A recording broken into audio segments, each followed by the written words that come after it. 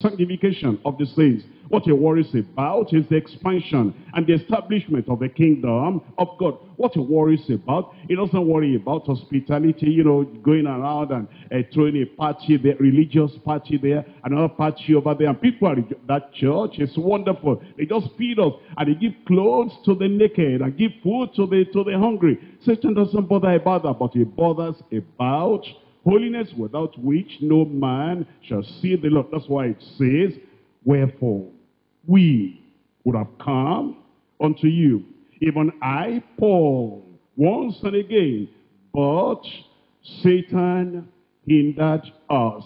But thank God we're going to overcome. I said we're going to overcome. That's why we're talking about turning Satan's hindrances to greater soul harvesting. Turning Satan's hindrances to greater soul harvesting. We're dividing the study tonight to three parts. Number one, overcoming hindrances through suitable substitutes. Suitable substitutes. Number two, obtaining help through the saints' supplication. The saints' supplication. Number three, optimum harvest. Great harvest. Best harvest.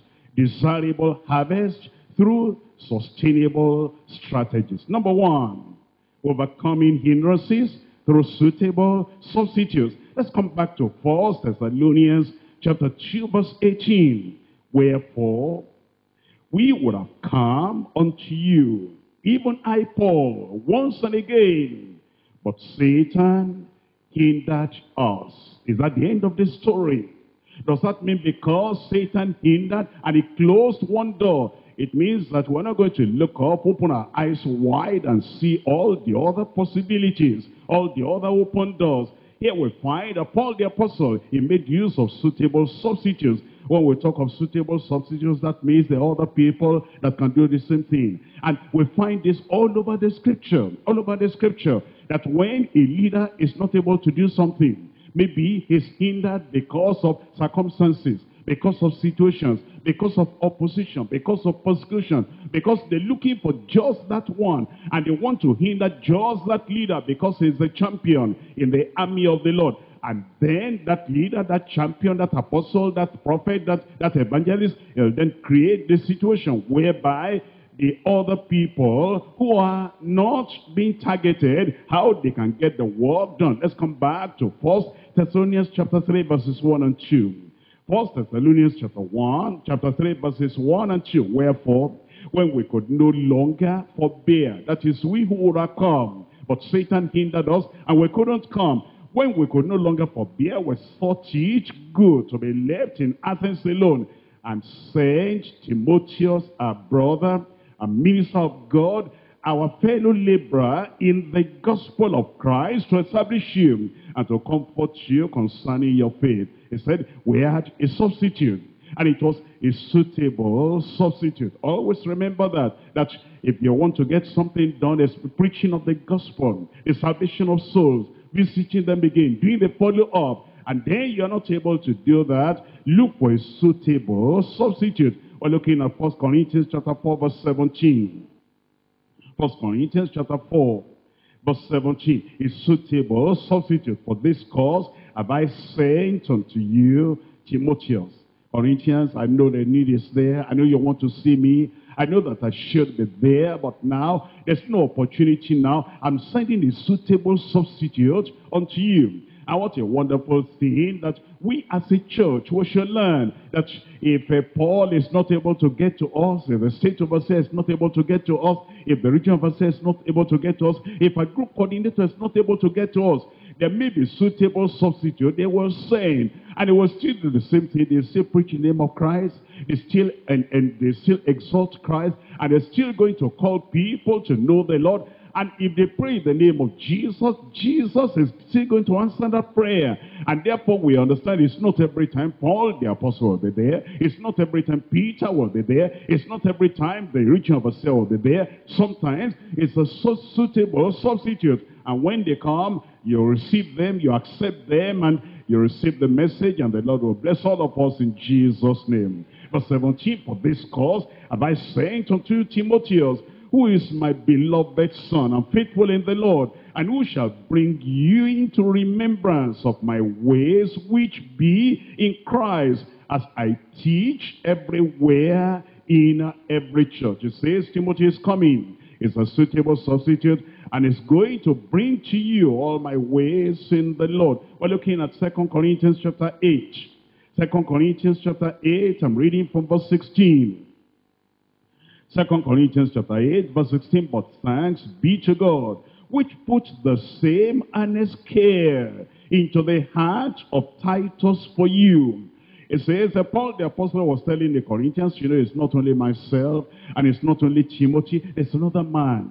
It's my son in the faith too. And he is also a suitable substitute. And thank God before I even spoke to him, the Lord put this in his heart. Look at verse 18. And we have sent with him the brother. There's another one that is not even named here. I've sent Titus and I've sent another brother along with him whose praise is in the gospel throughout all the churches. He said, the people I'm sending to you, they're suitable and they're capable and they're competent and they will preach the same word unto you. Just let us remember that whenever Paul is not there, there's a Titus around, there's a Timothy around, and they are going to preach the same thing. And what's important is the word What's important is the Savior. What's important is Christ. What's important is the Holy Spirit. And what's important is the doctrine they're going to emphasize.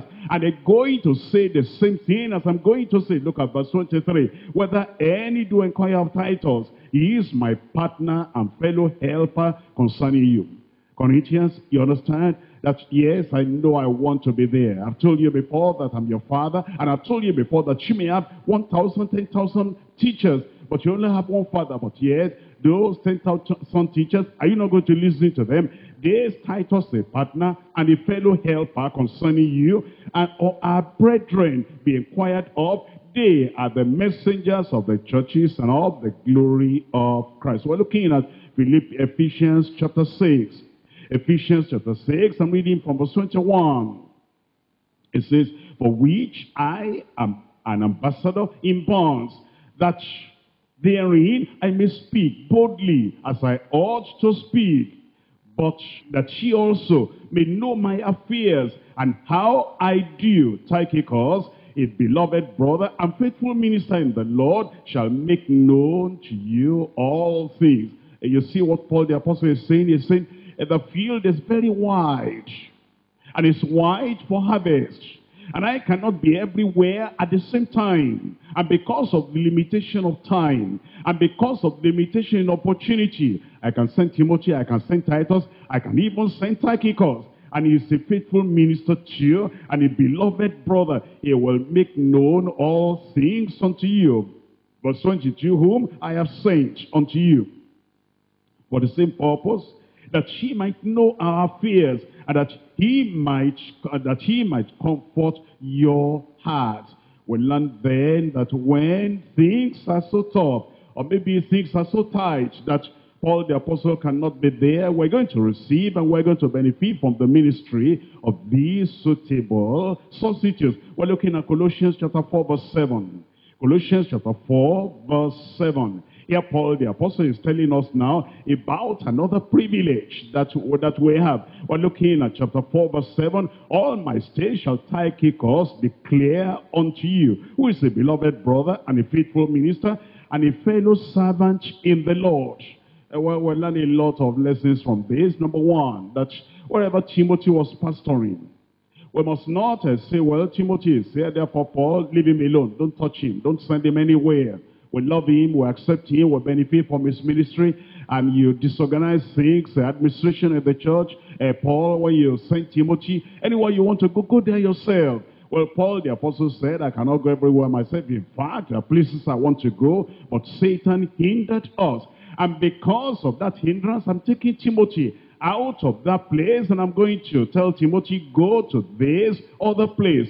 And surprisingly, Timothy came back from that place. And Paul the apostle said to uh, Timothy, there's another place I'm sending you to. And we didn't know that Timothy was a pastor, a resident pastor in another place at this time. When Paul the apostle was sending him to Thessalonica, sending him to Corinth, and sending him to all these other places, it's not the people that are idle will pick up and send somewhere. It's not the people that have nothing doing will pick up and send somewhere. It's the people who are busy already, like Timothy. It's people that are busy already, like Titus. Look at 1 Timothy chapter 1 verse 3. 1 Timothy chapter 1 verse 3. As I besought thee to abide still at Ephesus, when I went into Macedonia, that thou mightest charge some that they teach no other doctrine Timothy was not jobless, was not idle, was not that free. And yet Paul the apostle said, hey, come on, Timothy, I ought to go to Thessalonica, but I cannot go now and leave that Ephesus and go there. Another time, uh, Timothy, that's enough. Now you've done enough in, in Thessalonica. I want you to go to Corinth. And you were already about Titus. Do you remember Titus? Titus chapter 1. I'm reading Titus chapter 1 in verse 5. For this cause, let I thee, Titus, in Crete, that thou shouldest set in order the things that are wanting, and ordain elders in every city as I appointed, as I had appointed thee. Titus was not jobless. Titus was not idle. Titus had something doing. But Paul the apostle said, Titus, I need you in Corinth too. And then he sent him to Corinth. And we have read about Tychicus. And Tychicus was mentioned, the mention of Tychicus in, in Ephesus. And now as we come to, as we come to another place again, Colossians chapter 4, we find Tychicus again. And Paul the apostle saying, I want to send you here. Now Paul the apostle, can we ask you a question? Are there not other people? Why don't you leave this Timothy in Ephesus where he is? And leave Titus in Crete where he is, and leave Tychicus in the place where he is, where you have put him. Why are you sending these people? Can't you find other people? It says, these are the suitable substitutes. And the beauty of each in the New Testament is that we never found any complaint, never, never any complaint from all those churches where Timothy was taken and sent out to another place. There was no complaint in the place where Titus was and sent to another place. And there was no complaint in where Tychicus was and sent to another place. I pray that all these things that we learn will become practical knowledge for us in Jesus' name. Number one, that for example, when I'm supposed to be somewhere and I'm not able to go there, that people are not going to complain and they're not going to say, why is it, you know, the pastor is not coming to us. And when we sing somewhere, then you close your eyes and close your Bible and then turn the other way and say, I'm not going to listen. When the pastor, when the GS comes himself, that's when I'm going to listen. Hey, that's a wrong attitude. The other thing we need to take care of is that, let's say there's a Timothy and he's doing a great job in Ephesus. There's a Tychicus, he's doing a great job in another place. And then there's a Titus, he's doing a great job in, uh, in Crete. And then the chair says, uh, now Titus, I need to, for you to go over here, that nobody is complaining, nobody is grumbling. Why is it all this? Say, well, you understand, I travel around myself, I go to places myself, and when the work becomes so expansive and so great that I cannot go everywhere, we have the Timothy's there, we have the Tituses there, we have the Tychicus there, and we're going to send them. And when they are sent, anywhere they're sent to, thank God they're going to be obedient in Jesus' name. And as they're obedient to the word of the Lord, I pray that our people that they're going to will benefit and get the word from them in Jesus' name. We're looking at 2 Timothy chapter 2 verse 2. 2 Timothy chapter 2 verse 2 and the things that thou hast heard of me among many witnesses the same commit thou to faithful men He's saying, Timothy, as I've trained you and trained Titus and trained Tychicus and trained uh, all the other people, Aquila, Priscilla, everybody, you too, train other people so that when the work expands and when the work is established and when you need to send other people to you to go and represent you and when you're looking for suitable substitutes, you'll be able to find people to pick on. We're saying the same thing to our state overseers, train people. We're saying the same thing to the region overseers, train people. I'm sure you are not waiting until we announce national workers training, until we announce national or international workers retreat before you have workers training in your region, workers training in your state, workers, know, workers training in your, in, your, in your nation. That, okay, we're still waiting. Why are you waiting? Timothy also was to train the workers as Paul had trained the people. All the two people are not waiting in the various groups. We're waiting until the GS will announce this and announce this. Why does they have to do that? There you are do something. All those weekends are there. Get the time out and train the workers so that when we need suitable substitutes, we'll be able to pick them up and send them there. And this work will keep on expanding and expanding in Jesus' name. Chapter 2, verse 2 again, Second Timothy. And the things that thou hast heard of me among many witnesses, the same, the same, don't change the doctrine, train or the same doctrine, emphasize the same doctrine, emphasize the same Christian life, the same holiness, the same sanctification. Don't omit anything. The same commit that to faithful men who shall be able to teach others also. Now, before I leave that point, I want to remind you that Timothy or Titus or Tychicus or Aquila or Priscilla or any of these other people, they were fast, a suitable substitute. What I mean by fast, F, they were faithful. A, they were available. S, they were steadfast. T, they were teachable. These people that were sent out, that could go and reach out to other people, teach other people. One, yes, they were fast. Fast in the sense that they obeyed promptly. They obeyed immediately. They were fast. In the sense that the moment they were told to go that week, they were already there. They were fast. But then as you spell that out, faithful. And that's what Paul the apostle said about Timothy. That's what he said about Titus. They were faithful men, faithful women. And then that's what we're saying about the people today. Suitable substitutes. The GS is to go somewhere. He's not able to go. He's sending you. Be fast, be faithful. And then be available. Timothy was available. Titus available. Tychicus was available. All these people that Paul the apostle sent out, they were available. They didn't say, I'm sorry, Paul. I'm tired now. You know, I just came back from Thessalonica, and now I'm going to go to Corinth, and then I'm going to go to all this place. You know, Pastor, let's consider this scene. When somebody is shifting and moving about, today is Ephesus, tomorrow is Corinth, and the other day is Thessalonica. You know, a kind of a person shifting, there's no time to settle down. Can I settle down for some time? They were available. Then they were steadfast. And they just kept on doing what they ought to do, unmovable in the work of the Lord, knowing that their work was going to be rewarded. That's what we read about in First Corinthians chapter 15, verse 58.